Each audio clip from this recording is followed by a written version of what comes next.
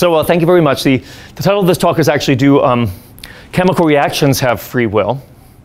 Um, and uh, uh, I'm actually not going to uh, re uh, resolve real questions about whether things have free will or not because I learned from my supervisor for my MPhil in History and Philosophy of Science, Jeremy Butterfield, who I see right over there, that many of these questions are actually philosophical questions that have been debated for thousands of years, and it's unlikely that physicists are going to resolve them. Uh, however, what I am going to argue today is that uh, I will actually state the results of some rather simple mathematical theorems that show that if you are making a decision, and chemical reactions do make decisions. For instance, the chemical reactions that govern the metabolism of a cell make decisions to raise or lower amounts of certain chemicals if certain other chemicals are coming in. So if you are making a decision, you have a, some kind of system that's making a decision, and if in addition that system is sufficiently complex to ask the question, what decision will I make? Then it will in general not be able to answer that question. By the way, you don't have to have consciousness or anything like that to have this simple form of self-reference. If you're the operating system for a smartphone, the operating system is a computer program that says it allocates time and space uh, to other programs. So it says, what does program number 17 want, need? And it gives it some time and space. What does program number 743 need? Gives it some time and space. What does program number 42 need? Gives it some time and space. But it itself is program number 42. And if you have that amount of self-reference, you will not be able to predict what you're going to do. So the operating system of your computer can ask the question, what will I do, and will not be able to answer it. So I'm going to argue actually that, that the reason for, um, uh, uh, uh, let's, where's my hockey stick? Um, that the reason, the reason for uh, the unpredictability of our actions, at least so far as we're concerned, is not have to do with whether the universe is deterministic or probabilistic, which is the way that the debate has largely been phrased over the last 2,500 years. Um, but in fact, it has to do with the halting problem and uncomputability. It's, it's interesting, by the way, it's uh, interesting, I don't know how many people know this, but Turing, prior to coming up with his ideas about the halting problem and to address uh, Gödel's theorem, he was actually studying quantum mechanics. He was reading von Neumann's book, and he was studying quantum mechanics because he actually was interested in the questions of consciousness and free will. All right, so um, uh, you know, the 2,500 years ago, Epicurus um, uh, who was an atomist, he adopted uh, Democritus's theory of atoms, he, uh, he said very famously that the atoms move deterministically, but occasionally perform a small swerve called the clinamen. We don't have Epicurus' writing on this, but um, uh, uh, Lucretius has him saying in De Rerum Natura, Illudin his quoque te rebus cognoscere vemos corpora cum de orsum rectum perinane ferrator ponderibus propriis, and it basically says that the atoms fall under their own weights, colliding with each other, but every now and then they have to give a small swerve. Um, otherwise, they just all fall to the ground. That's one reason. But the other reason, which is quite interesting, and this happens about 10 lines later, he says, if they did not give this small swerve, then the thing that we value most about our lives, which is our freedom of will, would not exist. So Epicurus and Lucretius said, we need indeterminacy in order, probabilistic behavior in order to have free will. Um, now, uh, many, uh, two centuries, two millennia later, Newton came up with his laws of motion, and he said that the laws of physics are deterministic. This was very, uh, was so successful that for the subsequent 300 years or so, or 250 years, uh, people had a real problem with free will. So um, if you look at, at uh, uh, philosophers of the of the 18th century, for instance, people like Hume or, or, uh, or Locke, uh, they realized there was a, they said there's a real problem with free will. Uh, Samuel Johnson um, said, all theory is against the freedom of will, all experience for it. Now, there's some really, if you dig through the history of this, oh, and by the way, this is, uh, if you want to really uh, go into this in, in, detail, I have an article in the Proceedings of the Royal Philosophical Society A called A Turing Test for Free Will. It's on the arXiv as well. You might want to take a look. It has all kinds of more fun quotes and history about this. But there's a lot of entertaining history about this, a lot of interesting firsts, like, for instance, the fact that Turing was actually studying quantum mechanics because he was interested in consciousness and free will. But there's a wonderful paper by Maxwell, very little known, but it's actually on free will, in, in which he actually, he actually essentially states that the motions of molecules are chaotic. He says he wants to, to preserve free will. He says, oh, look, when we have hard sphere gas and they're bouncing off of each other, then a little uncertainty will grow and grow and grow and grow. This is a paper from the 1870s that, that uh, anticipates the notion of chaos that Poincare uh, analyzed 20 years later. Um, now, Eddington, um, when, when the, the, advent of quantum mechanics, which is intrinsically probabilistic, um, uh, uh, uh, people got excited uh, because uh, if you just think that, that free will is all about whether things are probabilistic or deterministic, then if suddenly things are now probabilistic after have, having been deterministic for the previous 300 years, then that's great. And Eddington uh, brought this up, and he, he actually said, you know, now that we have quantum mechanics and its probabilistic nature, and he said, quote, science withdraws its moral opposition to free will. Okay? okay, but does randomness actually save free will? Um, actually, uh, I, I, mean, I, I, I, definitely think no, but I actually have a whole bunch of other, of other uh, well-known philosophers and quantum mecha mechanicians and people like that, people like Schrodinger, Turing, Hawking, um, Dennett. People, um, you know, it, it's if you have a randomness, quantum randomness. Suppose you make a decision, right? You know, should I have coffee, caffeinated coffee or decaf? Uh, a decision which I usually have to make around 3 p.m., right? You know, caffeinated is more excited, but history means, indicates I won't get as much sleep, right? So which do I do? Now, I can think back and forth, more exciting, safer, more exciting, safer, make a decision. If I can't make a decision, I could flip a coin, right? But adding randomness and flipping a coin is exactly for people who are abdicating their free will. And so the real problem about free will is not really whether it's probabilistic or deterministic, it's whether it's mechanistic. Can a mechanistic system possess free will? A mechanistic system such as the, uh, the set of chemical reactions that underlie the metabolism of a cell. And I will actually show that this is not true. This is just a set of mathematical theorems that I will argue. By the way, these theorems have nothing to do with the so-called free will theorems, the Kochen-Conway free will theorems. Those theorems actually, in my mind, have nothing to do with free will. Not, or at least have nothing to do with whether we can predict what we're going to do. It's questions about probabilism in probabilistic nature in quantum mechanics. So just in case somebody wants to ask if there's any connection between that, what I'm talking about, the answer is no. So you don't actually have to get up and ask that now. All right. So actually, right now, there's an interesting time about free will because you read all kinds of things. Actually, in Stephen Hawking's most recent book, he says he doesn't believe in free will because there's all this evidence from neural, uh, uh, from people putting you know, electrodes into people's brains that they can predict the decisions they're going to make beforehand here's my little scientist who's you know, poking at your brain. And uh, you know, the scientist poking at brain can look at the electrodes, the outcomes of the electrodes, and predict the decision you're going to make a split second before you're aware of this. And then Hawking says, oh, but this means we don't have free will. Uh, okay, that's fine. If you don't want to say we have free will, that's okay. You still will not be able to predict your own decision, all right? So what I'm actually going to address is a smaller question, but one which I believe is at the essence, which is why we can't predict our own decisions. Now, if you believe we have free will, then this explains free will. If you don't believe we have free will, this, this explains why we have the illusion that we have free will, okay? So, what's going on? Okay, this is not what's going on. What I'm going to argue is that what's really going on is the halting problem. So here's, this is my, my schematic of the halting problem. This is the head of a Turing machine.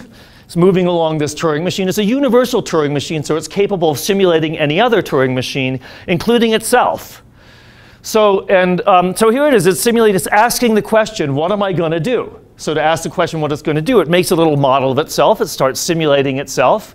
Of course, but the problem is it's simulating itself asking the question, what am I going to do? So there's more of the model of it simulating itself, what am I going to do? It goes smaller and smaller and smaller until I ran out of resolution in my PowerPoint slide. I hope you like my PowerPoint technique here. Right. Um, and it's this, this capacity for self-reference, which famously leads to the halting problem. Um, uh, if you have systems that have a capacity for self-reference and they're computationally universal, then uh, they cannot predict if they're going to halt. They can't predict if anything's going to halt or not. And in particular, they also won't be able to predict what their decisions are going to be. If their decision is made by some kind of logical process, they won't even know if they're going to make a decision or not. Okay? So a computer which has a uh, sense of self-reference, cannot predict what it's going to do. Um, indeed, the halting problem is, you know, uh, you can summarize it in this kind of way. Will I ever be able to answer the question of whether I will be able to answer the question dot, dot, dot, dot, dot, dot, dot, and, you know, now you're in an infinite loop and now you, you don't know what's going to happen.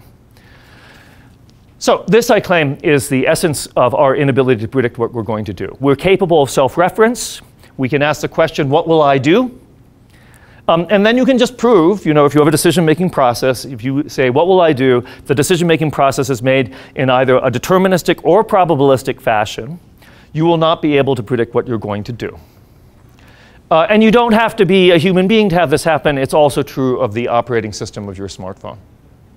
So if, if it's a, now, now many people, uh, well, the halting problem, of course, you know, it, it, really shows up if you have an infinite system with an, uh, an infinitely extensible tape, but there is a finite system version of it as well that applies to the kind of finite automata that Jim was talking about as well. Here is somebody that looks maybe a little bit like uh, Lucille Balls and I Love Lucy because she's got red hair. She's trying to model what she's going to do, what kind of decisions she's going to make. So she makes a model of herself herself, of course, we have this recursive feature, makes another model of herself, makes another model of herself. If you're a finite system as opposed to an infinite system, you cannot model yourself exactly for the simple reason that you're devoting fewer resources to model yourself than actually you have. You have fewer degrees of freedom in the model than you yourself possess. So as you can see here, the model is kind of more coarse-grained and cartoonish and gets more and more cartoonish as it goes further down. And the result is that uh, uh, now even for finite systems, you cannot predict what you're going to do. So uh, if you actually want to, you can go and look at the details of how you prove this. You, you can prove that simulating oneself is either slower or less detailed or chancier than just being yourself. Okay? There's a bunch of different trade-offs, but you, there's always a trade-off. You can't get away, you cannot simulate yourself exactly in the same amount of time it takes for you to be yourself. Um, and the, by the way, the finite time, finite system version of this is called the Hartmanis-Stearns theorem. This is a theorem from the, the, the, good old days of computational complexity before the polynomial hierarchy. Um, uh, it basically says to predict with certainty what you will decide to do an hour from now takes more than an hour. So there's two ways of actually deciding. You can either just like go through the thought process you have to do to make the decision and make the decision. I think, what the hell, I'll have caffeine you know, right? Or you can try to make the decision in the following way. You can ask, what am I going to do? What decision will I make? Well, how will I make this decision? Here's the person trying to think of do it the second way. How will I make this decision? Here's the person just making the decision. Hartmanis-Stearns theorem says that if I have a system whose temporal resources are limited to t, so it has to come up with an answer after time t, so it's a finite automaton that's only going to run for time t, then indeed you can predict what it's going to do, but to predict what it's going to do takes time t squared. This is what the Hartmanis-Stearns theorem says. It's rather nice. It's just, it's simply the finite system version of the Cantor diagonalization argument that goes into uh, proving the halting problem. It's the finite system version of the halting problem. Something that if you, you're, you're just going to do it in time t, if you're going to ask yourself the question, what, how, what am I going to do in time t, answering that question takes in general time t squared. Okay? It just takes longer. That's just the way it is. So um, I invite you to think about this next time you're making a decision. I understand that, that there, there's a, a, very long, thousands, uh, multiple millennia old prejudice on part of many people, and on often particularly scientists, that says, oh, it's just about free question of free will, but whether we can predict what we're going to do is a question about whether the laws of physics are, physics are deterministic or whether they're probabilistic.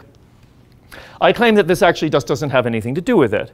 Our inability to, ask the, to, to predict what we're going to do, this, this explanation, this feature that you can't predict what you're going to do, has nothing to do whether the universe is deterministic or probabilistic. You could have a, a, uh, an automaton that's a, a, a deterministic automaton or a probabilistic automaton. It won't be able to answer the question of what it's going to do in general, what decision it's going to make. Um, it's true whether the universe is classical or whether it's quantum mechanical. Again, it doesn't matter. This is like, you know, the, the, the, quantum computers have the same problem as classical computers. They also will not be able to predict what decision they're going to make. Um, so indeed, so as this, the, title, the title of the paper, A Turing Test for Free Will, uh, says, uh, I, I, suggest in this paper, I suggest we could, this in a kind of whimsical fashion. We should have a, a self-administered Turing test for free will. I mean, it's self-administered because um, unlike the ordinary Turing test where it's an adversarial thing, it's like, you know, if you cheat on your self-administered test about whether you have free will, then you have only yourself to blame, right? There's no real point in cheating. So, so suppose you're sufficiently complicated as an information processing system to answer the following questions. So, am I a decider? Like George H.W. Bush famously saying, I am the decider, right? He decided he was the decider. So, is there a decision to be made? So, like, for example, I think I encourage you to think of this decision that the operating system of a computer is going to make. The operating system is going to allocate resources to other programs. It's deciding how to allocate those resources. It's just an algorithm in your computer that's doing it, but it is deciding how to do it. Nobody else is deciding how to allocate those resources. Can I model my behavior and that of others? This is also true of the operating system of a computer. It has to have a model of the, of the programs that it's allocating resources to, and it has to have a model of itself in order to allocate those resources. These models, of course, will always be incomplete. And then you ask the question, can I predict my own decisions? And if you answered yes to question one and yes to question two truthfully, then the only truthful answer to question three is no. So if you answered yes to one, yes to two, and you answered yes to three, then you're cheating, and you only have yourself to blame because you're only just fooling yourself. This is just not, you know, this has nothing to do with determinism or, or, or, or probability or chanciness. It just has to do with processing information and with, by systems that actually have a very rudimentary notion of self-reference, like the operating system of the computer, program number 42, that asks the question, what will program number 42 do? That's enough of the notion of self-reference. So you don't necessarily need to be conscious. I don't believe the operating system my computer is conscious. Malevolent, yes. Conscious, no. okay, so who's going to pass this? A thermostat, very simplest kind of finite automata with input-output relations. No, it doesn't. It can't compute its way out of a paper bag. It doesn't have enough computational power to ask the question, you know, what will I do? Are pets? Maybe. People who have pets assign them superhuman consciousness and free will and all those other things. We don't know. The things like trees or bacteria, probably not. Probably not. Once you get to human beings or, or, or, systems that have immune systems whose job is actually to ask questions, you know, is this part of me or is this not part of me? Then you're starting to get in trouble. In fact, uh, this same argument, I'm trying working on a paper to apply this to autoimmune diseases. It essentially says autoimmune diseases are inescapable because they involve this problem of self-reference in a finite information processing system. And that problem of self-reference can never actually be answered correctly 100% of the time for just the same reasons that you can't predict what you're going to do. However, if you look at your computer or your smartphone, the answer is yes right? They have the ability to model themselves. They are deciders. They have the ability to model themselves. They can ask the question, what do I need and what am I going to do? And they will not be able to answer that question.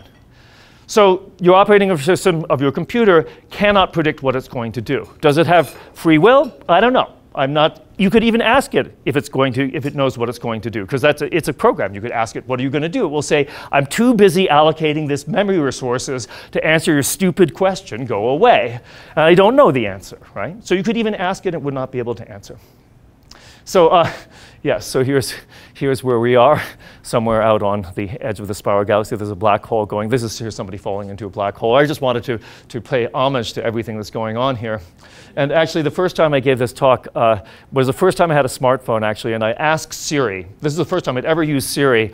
I asked, said, so Siri, do you want to go out for a beer after this talk? And do you know what Siri said? Siri said, this is about you, Seth, not about me. Thank you very much.